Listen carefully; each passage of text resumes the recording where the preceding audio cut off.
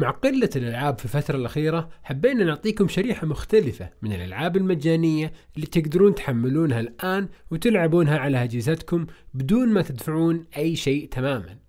بعضها بتكون بس على جهاز واحد معين والباقيين على أكثر من جهاز.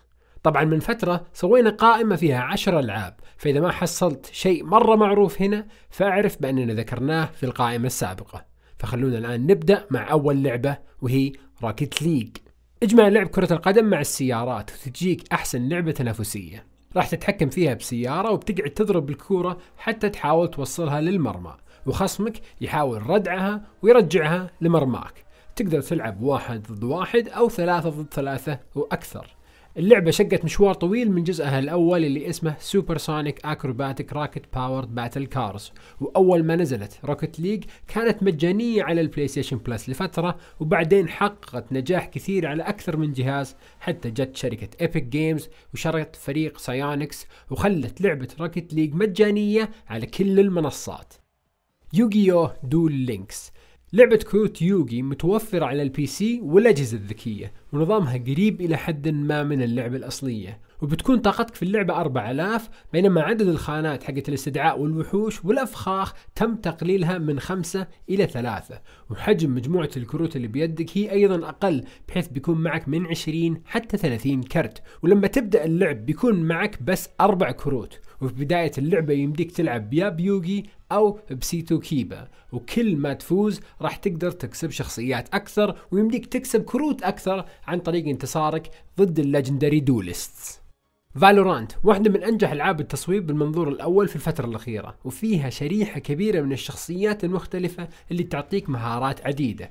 أسلوب لعبها وصفها الكثير بأنها خليط بين لعبة Overwatch على لعبة التصويب العريقة Counter Strike في بداية كل جولة راح تبدأ بفرد وعلى حسب أدائك في الجولة وأداء فريقك راح تكسب فلوس وتقدر تشتري أسلحة أكثر تعزز لك في اللعب.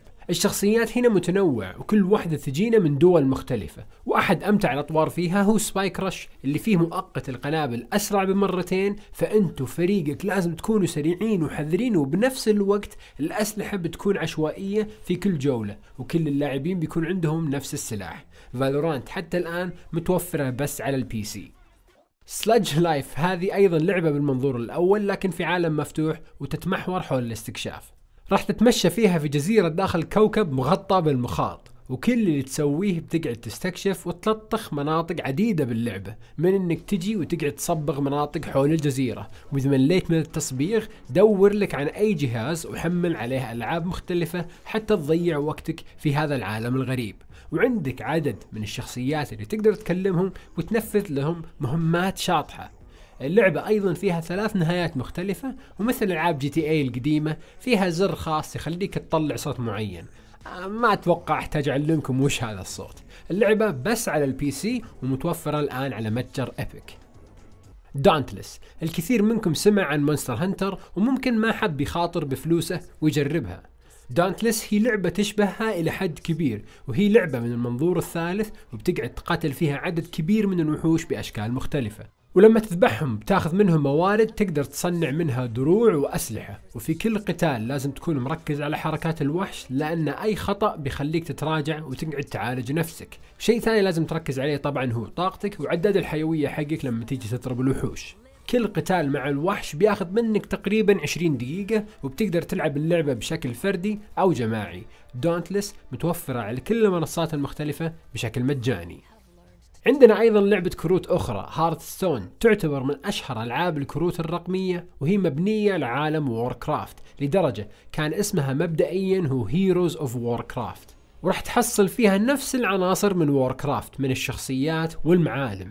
طبعا مثل ألعاب الكروت فيها تبادل الأدوار وكل لاعب بيكون عنده مجموعة كروت تتكون من 30 كرت مع اختيارك إلى بطل واحد يتميز بميزة خاصة. وكل لاعب بيكون عنده mana crystals محدودة يستعملونها حتى يستدعون وحوش ويضربون خصمهم. وهدفك هنا هو التخلص من بطل خصمك. وتقدر تكسب كروت جديدة عن تنفيذ مهمات معينة وفوزك في أكثر من مباراة. Hearthstone متوفر الآن على كل الأجهزة الذكية وال PC League of Legends واحدة من أكثر ألعاب ال MOBA شعبية إن ما كانت الأشهر.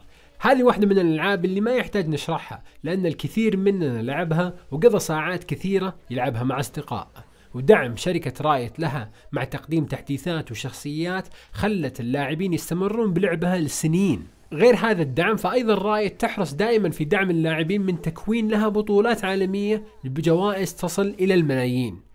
Star Wars The Old Republic هي واحدة من أضخم ألعاب ال MMO وهي مبنية طبعا على عالم Star Wars ومن تطوير فريق BioWare العريق. وأحداث اللعبة تبدأ لما أعلن السلام بين إمبراطورية ال Sith وال Galactic Republic اللعبة فيها ثمان كلاسات مختلفة وثلاث قصص معينة يمر فيها اللاعب كل ما يرتفع مستواه وراح تكون مخير بانضمامك إلى ال Galactic Republic أو الإمبراطورية. وهل بتكون مع الظلام أو النور؟ اللعبة حققت نجاح كبير ويقال إن ميزانية تطويرها كانت مرة مرتفعة لكن بعد ثلاث أيام من صدورها أكثر من مليون لاعب سجلوا في اشتراك حتى يقدرون يلعبونها. طبعا ما يحتاج إنكم تفكرون بهذا الاشتراك لأن اللعبة حاليا مجانية وتقدرون تحملونها الآن على ال PC. Ratchet Clank هذه اللعبة تعتبر مبنية على أحداث Ratchet Clank اللي هو أصلا مبني على أحداث الجزء الأول من اللعبة على ال PlayStation 2 يعني تقدرون تقولون أن هذه اللعبة remake نوعا ما إلى اللعبة الأصلية اللي صدرت في سنة 2002 أحداث اللعبة تحكي قصة البطل Ratchet بكونه آخر شخص من جنسه. وفي اللعبة راح تقابل الكثير من الشخصيات اللي راح تخليك تضحك وغير الشخصيات اللي تضحك فعندكم برضو أسلحة اللعبة الغريبة مثل القنبلة اللي جاية على شكل ديسكو تخلي كل الأعداء يرقصون لما ترميها عليهم. هاللعبة متوفرة الآن بشكل مجاني على ال PlayStation 4 وآخر لعبة معنا هي لعبة battle royale من Ubisoft Hyper Scape مثلها مثل باقي ألعاب ال battle royale فأنت تحاول النجاح حتى آخر لحظة بينما الخريطة من حولك تصغر. ولما يبقى منطقة واحدة بس بيظهر تاج. إذا أحد قدر يلبسه لمدة دقيقة راح يفوز مباشرة بدون ما يذبح أحد. الجو العام للعبة مستقبلي بحت وفي اللعبة أصلا تشوف الشخصية تلبس نظارات واقع افتراضي حتى تلعب. طبعا نقطة ثانية تتميز فيها Hyper Scape هي بأنك راح تحصل مهارات في كل أنحاء الخريطة تسميها اللعبة hacks كمثال أحد هذه المهارات تخلي اللاعب يصير كرة كبيرة ولحظتها ما راح يتضرر من طلقات الرصاص. طابع اللعبة مختلف مميز وتقدرون تجربونها بنفسكم على ال PC وال PlayStation 4 وال Xbox 1 اذا هذه كانت 10 ألعاب مجانية تقدرون تلعبونها الآن. شاركونا بالتعليقات بأسماء ألعاب مجانية تحبون تلعبونها. كان معكم نواف النغموش. يعطيكم العافية على المتابعة. ومع السلامة.